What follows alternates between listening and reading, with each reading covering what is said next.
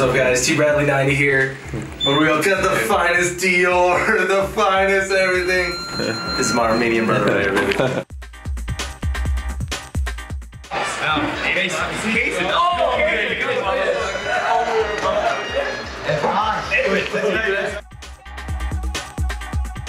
When was the last time you got Brazilian food, bro?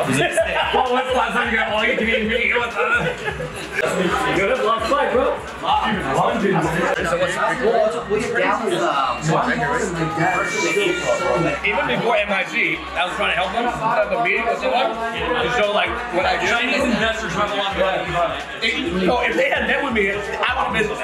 That would have been MIC with them. Wouldn't that be crazy? Asia, dude. I tried, but bosses were like, "Oh, we'll put money somewhere else. It seems too risky." I'm like, "You want someone to put money? This guy's like, it's crazy." Dude, too risky. Banded every broker and every freaking night in capital. Those guys. Dude, you fucking up. He's a walking mummy. Mr. Bird. I, I just died. Oh, me too. You look clean, dog. Me too. It's like Friday after next. Oh, up. Jokes, guys. I'll tell you, if women can do it, men can do it too, bro. Yeah. Dude, I'm starting to realize that. Toss is around because he's 6'3", he has a lot of hair. God, dude. Look at your hair, man.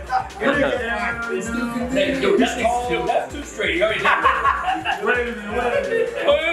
Oh, shit. Yeah.